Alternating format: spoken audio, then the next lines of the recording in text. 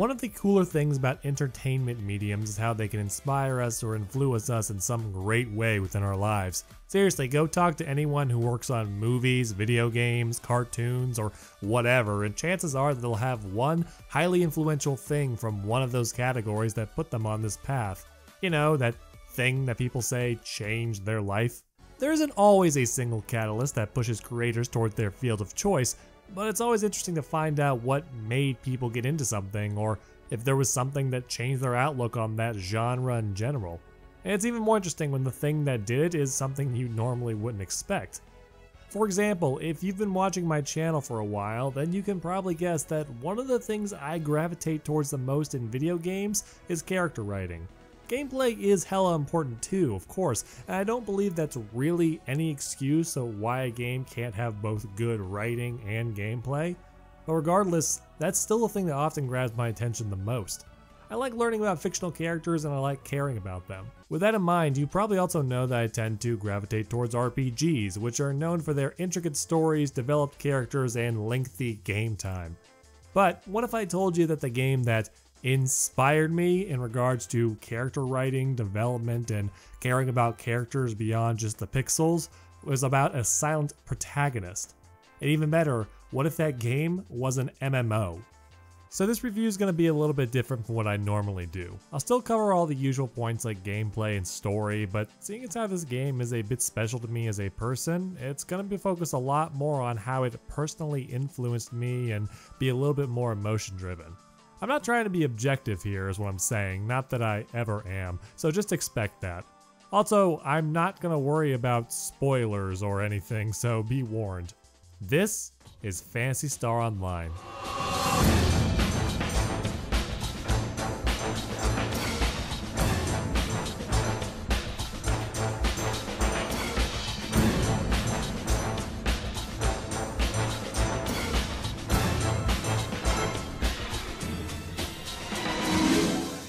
Phantasy Star Online is a massive multiplayer online role-playing game developed by Sonic Team and published by Sega in the year 2000. Yes, Sonic Team did work on other games besides Sonic.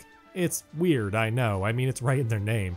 It'd be like finding out that the Coca-Cola company also makes Sprite- wait, hold the phone. The game was originally developed and released for the Sega Dreamcast, though it's got a pretty interesting history in regards to its actual development. You see, back in the 80s and 90s, there existed this JRPG series made by Sega called Phantasy Star. It was a mixture of the science fiction and fantasy genres, dealing with generic JRPG protagonists fighting evil and saving the galaxy. To be honest, it sounds like something that would have been right up my alley, but I never actually played them.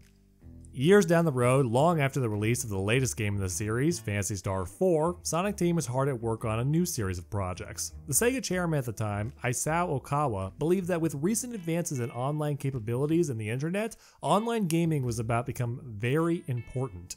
Something that could later be chalked up to as the understatement of the century. Okawa asked Sonic Team to develop some console games focused on network play. This was a pretty tall and risky order considering that online gaming wasn't popular on consoles yet, but regardless, Sonic Team took on the task. They started working on a couple of different projects, including a game that focused on science fiction and fantasy elements. After the art director Satoshi Sakai drew some concept art for the game, including a dragon, the director of the Sonic team, Yuji Naka, said that reminded him of the Phantasy Star series, so they retooled the project in becoming a Phantasy Star MMO. And after that, the game was released in Japan for the Sega Dreamcast in 2000 and then North America in 2001. Later, they released an updated version with some additional features like a battle mode and a higher difficulty, and then they released a version for Windows. Then, they released a updated port with a new story episode to the GameCube after the Dreamcast failed and Sega was porting everything they had over there. And then a port was made for the Xbox, and then another updated version for the GameCube, and then a yet another updated version for Windows. So, yeah, this game went around the block in a short period of time. It also pretty much displaced the original Phantasy Star series completely. Most people who've heard of this series got into it with Phantasy Star Online now, and are usually surprised to find out that it actually started as a JRPG back on the Sega Master System in the late 80s. For me, my introduction to the series was with the first GameCube port. So everything I'll be referencing in this video today is related to the GameCube version I originally played. So if I mention something that was not in another version of the game, That's why. Phantasy Star Online is a hack and slash MMO that focuses on blending science fiction and fantasy elements, which I have said at least three times now. On the one hand, you've got space elves and wizards who can shoot fireballs out of their hands, but then you've got space marine ass looking characters using rifles, shotguns, and rocket launchers, and then there's also the androids fighting with lightsabers. The game follows a pretty standard MMORPG formula. You start the game by creating a character based on a class and a race, with your character's attributes being affected by what they are. There's three races to choose from. Newmans, which are the aforementioned space elves with a higher affinity for techniques, the word for magic in this game, but tend to be more frail with their lower physical stats. Androids, or casts if you want to call them that, characters with superior physical stats but the inability to use techniques, instead having to rely on their raw power and being able to lay traps. And of course, the vanilla ice cream of fiction, humans, which tend to be a balanced mix of both, having decent physical stats and the ability to use techniques. There's also three classes to play as, which seem to be based on the RPG archetypes of warrior, wizard, and archer, or in this case, hunters, forces, and rangers. Hunters have high attack power and favor melee weapons, Rangers have high accuracy and favor ranged weapons, and Forces mostly use magic and wield fancy sticks. When I first played this game, I thought humans were boring and swords and robots were cool, so I ended up creating a male android hunter. I was also way into Gundam Wing at this point, since this was the early 2000s when the anime boom was at its peak, and since I saw some promotional material that depicted the HuCast using a scythe, I decided to paint my character black and name him Death Scythe. Although in the version I played for this video, they changed the number of characters you could use for your name, so I had to shorten it to Scythe instead. God damn it.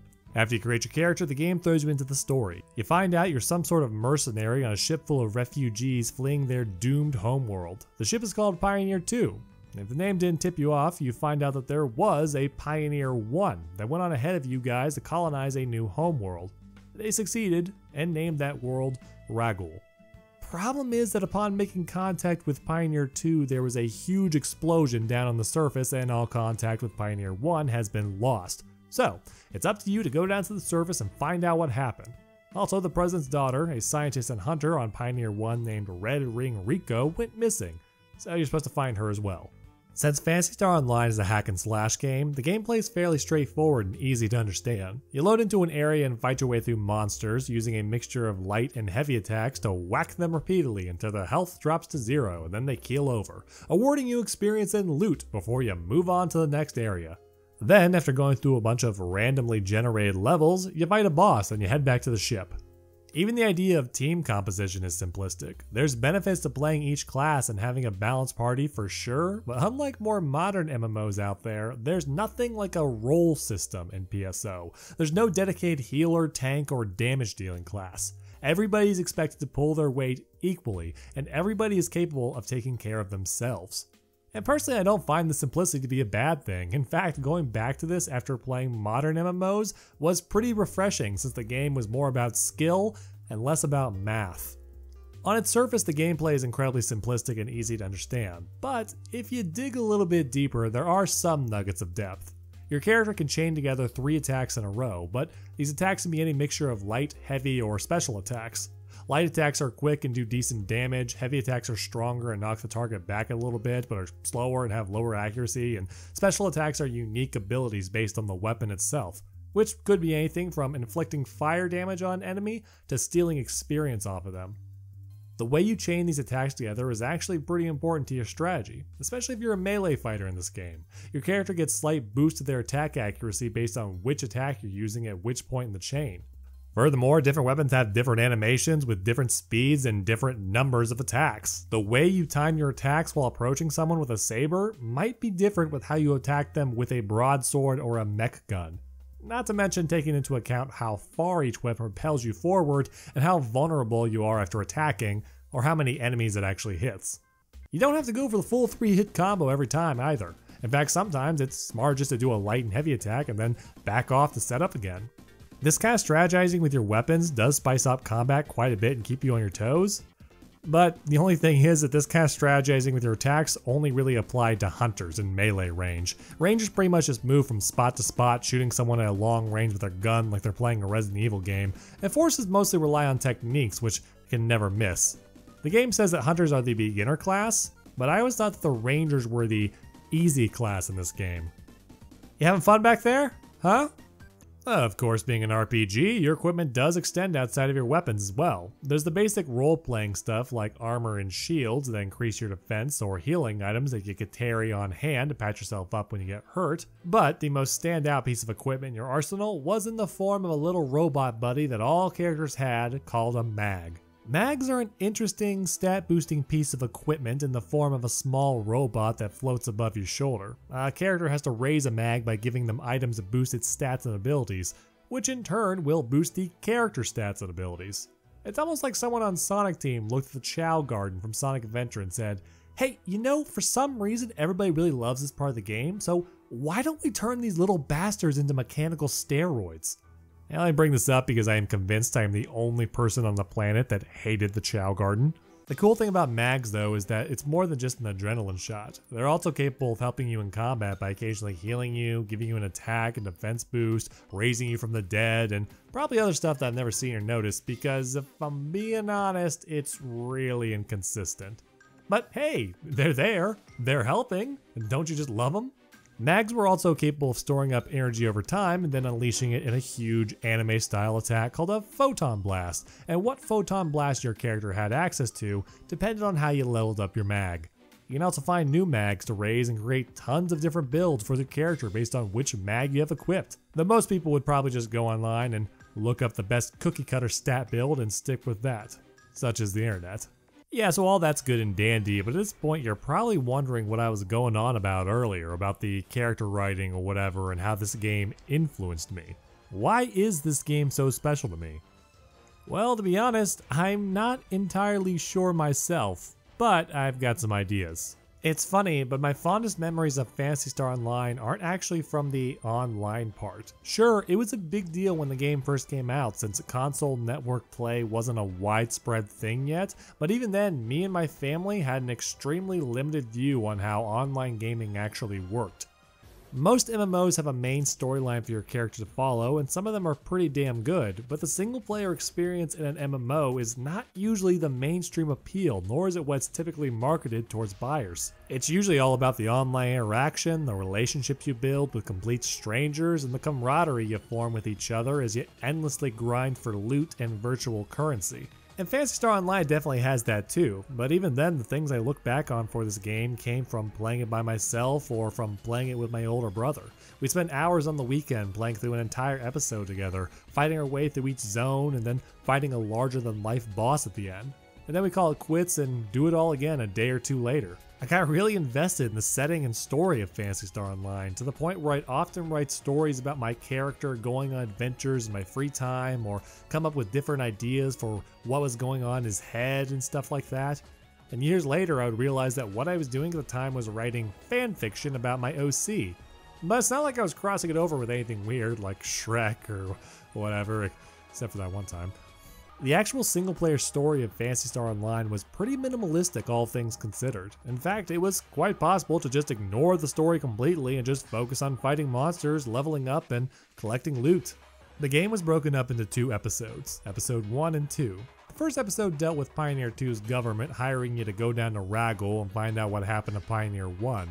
Along the way, you can find messages left behind by Red Ring Rico, the principal's daughter, which give you a clue as to what happened and a bit more insight to the setting of Ragol and what Pioneer 1 went through before you arrived.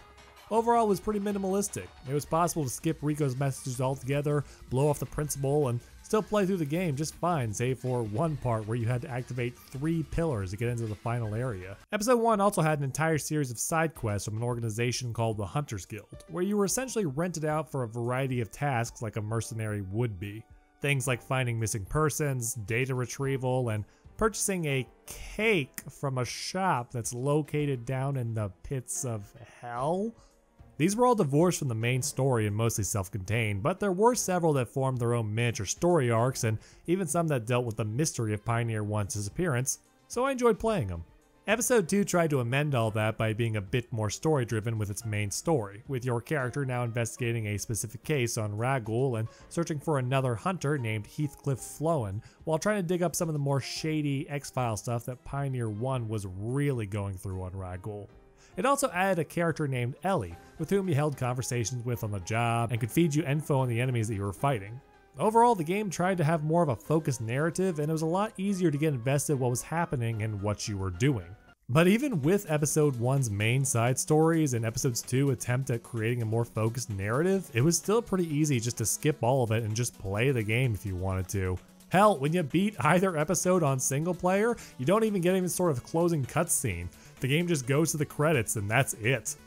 It's even funnier if you beat the game online where you won't watch the credits, but the theme music will play anyway, and you'll get a group shot of your current party that you are playing with doing heroic poses with the message, Congratulations, you are the hero. Yeah, look at us. We're awesome. Your actual character is a silent protagonist who might occasionally have the opportunity to give sass, but for the most part just kind of accepts everything that's thrown their way. And I've said it before, but I'm not a really a huge fan of completely silent protagonists in video games, depending on how it's handled. If they are going to be done, then I prefer them be a completely blank slate without some sort of pre-established family or friends or relationships. That way I can come up with my own story for this character without having any kind of prior influence. I got really attached to Death Scythe in Phantasy Star Online because since there was nothing to be known about him, I was able to come up with an entire backstory for him and be able to sort of make up what he was thinking about in every situation. I know that PSO wasn't the first game to do something like this, but it was one of the first games I had played where I could customize my character from mostly scratch and be put into that kind of situation. So it was influential for me. I made up a whole story about how he was an android that was built for combat but was slowly learning feelings and human emotions, and my brother's character was ex military and was his partner and sort of a buddy cop action flick, and they fought crime together while investigating Ragol. But then when episode 2 rolled around, he was chosen to lead the investigation because of his past deeds, and you got your cute female operator named Ellie with whom he started dating, and they were in love, and let's not, let's not focus on that part actually, never mind. I was super attached to this character and his story, the story that I was making up. The main appeal for the game was playing online with friends and strangers and hunting for loot and having a fun romp, not getting emotionally attached to a character that was basically a blank canvas that you drew on. Yet that was what drew me in, and that's what I think about all those years later. Before PSO, I'd never really paid attention to RPGs or characters or story. I found a lot of them to be boring and mostly just focused on action games that had a faster pace. But after PSO, I suddenly started getting more invested in video game characters and wanted to learn more about what made them tick as people. It's really weird that a character that was basically a virtual sock puppet is what got me into that. But there you go. Of course, by now, you're probably wondering if I actually did play the online content at all. And I did, but to be honest, I had more negative experiences than positive. You see, Sega's American branch really did not do a good job with running their English servers, and whether that's the fault of the company or who put them in charge, I'm not really sure. Hackers were rampant in Phantasy Star Online, and while some of them were doing things for just self gain, like giving themselves ridiculously overpowered weapons and mags, there were quite a few that just spent all of their time griefing other players. One griefing tactic in particular was something called Frozen Screen of Deathing, or FSOD for short. Basically, what would happen was that a hacker would do something to make your game freeze up, at which point you'd have to force a restart. And that's pretty annoying already, but the worst part about it was that when you force quit from a game in PSO without using the menu, you would lose all the items in your inventory aside from the ones you had equipped. And there was no way to get them back. I'm the type of player that keeps a weapon for every occasion, and by the time I adventured online, I'd collected quite a few rare weapons that I grew attached to. And that's when, on my very first day of playing, I was FSOD'd, and those weapons were all lost. Thankfully, I managed to get duplicates of them after a while, and even outgrew several by leveling up, but it didn't change the fact that it was devastating to lose that special sword that you'd had for so long. You know, the one that you would put into your bank to keep forever, even though you'll never use it again because it's so much weaker than what you've got now. I quickly learned that if you were going to play online, you should take only one weapon and just stick with it while hoping your teammates could cover your back and fill in your weaknesses. So, in a way, it was a lesson about trust. That being, don't trust anyone for fear that they're a hacker. Most of the time, I would instead play on the Japanese servers because there were far fewer hackers there, but while there were several very nice Japanese players that didn't mind playing with English speakers, there were still a lot that would flat out refuse to play with you if you were an American. Most Japanese players didn't speak English, but just about all of them learned how to say the phrase JP only. Would spam it constantly at you once they found out where you were from. And part of it was because the language barrier and how it was too frustrating to try and communicate using the in-game translator chat system. It makes sense, I guess. PSO isn't the type of game where you gotta discuss tactics with your team or anything, but it's nice to be able to communicate with your party about little things like deciding where you want to go or just having a casual conversation. But the other reason was that American players had such a terrible reputation online for being hackers and FSODers that nobody wanted to play with them. It didn't matter if you were a legit player or even a nice person, most people didn't want to take the risk.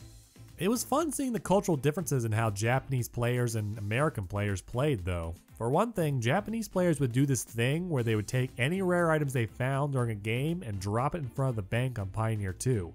The idea was that after they were done playing, they'd go and divvy up the loot amongst themselves, deciding on who gets what based on who needs slash wants it the most. I actually got in a bit of trouble once or twice when I played with some Japanese players when I first saw this because I assumed they were just items that nobody wanted, so I'd always take them for myself since most Americans had a first come, first serve basis for loot. And eventually someone who spoke English corrected me, so I stopped doing it. Uh, unless I was having a bad day and someone spammed JP only at me, so I'd steal all their crap before leaving. Guess I wasn't doing a whole lot to assuage that asshole American stereotype by doing that, huh? There was also how Japanese players would save all their photon blasts and fire them off together when they weren't in a fight. Apparently they just did this because they thought it looked cool to use them all together, whereas American players would mostly just use them in battle in a more practical fashion.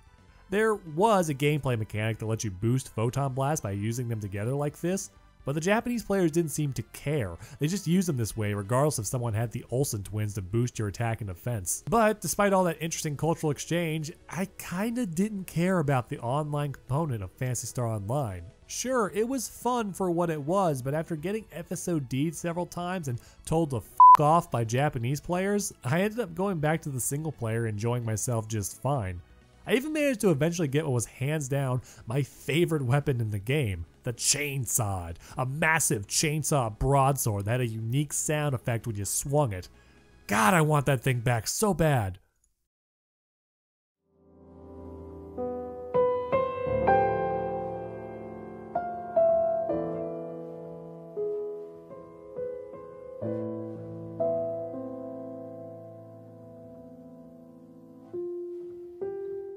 But sadly, all good things must come to an end.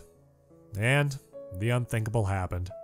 The memory card that had Death Scythe's data on it got corrupted. It was one of those 1000 megabyte memory cards too, so we had a ton of game data on there from not just PSO but a bunch of other stuff. All of it lost. After all those hours and days and weeks of adventuring, fighting monsters, collecting loot, and searching for Pioneer 1, Death Scythe's journey finally came to an end. Not with a bang, but with an error screen. I guess the most straightforward thing to do at that point would have been just to start over, remake Death Scythe from scratch, go on another adventure, and enjoy our time together again.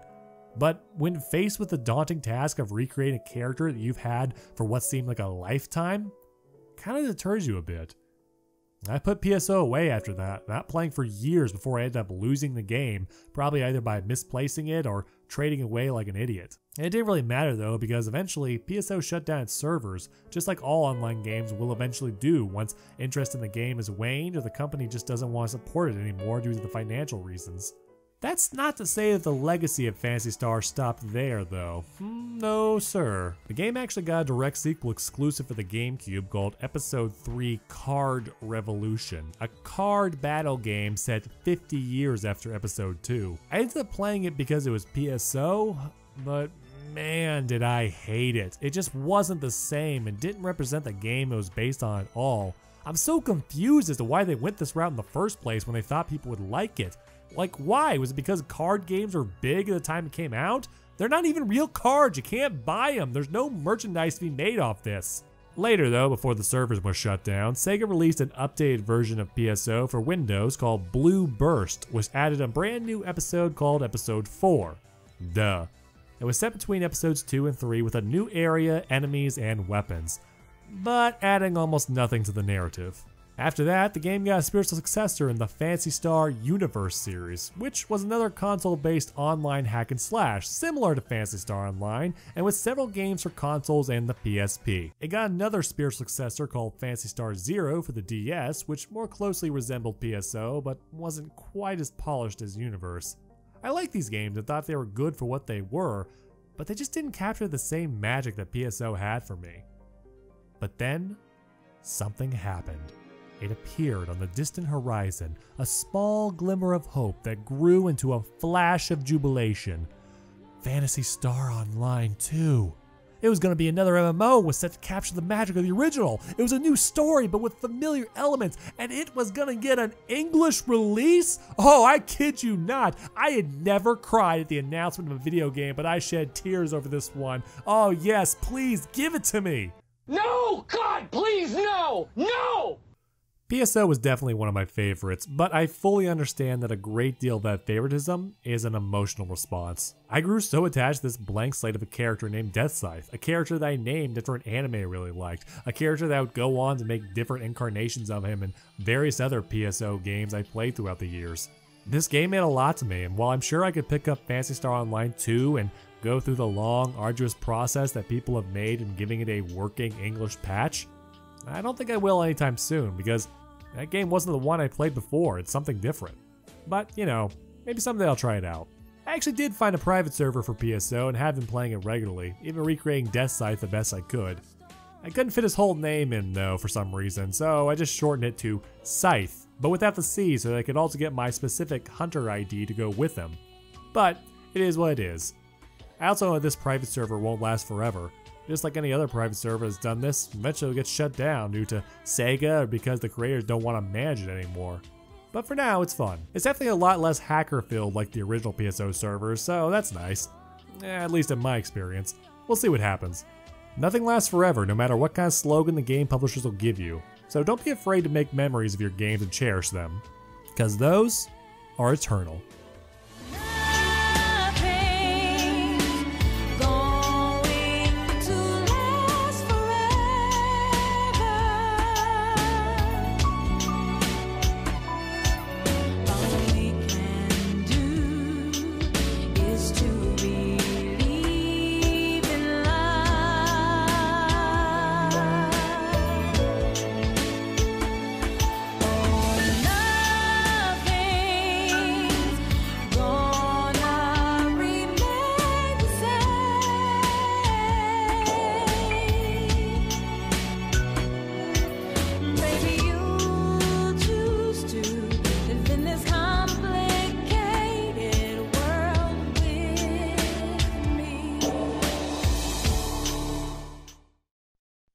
Somebody once told me the world is gonna roll me. I ain't the sharpest tool in the shed.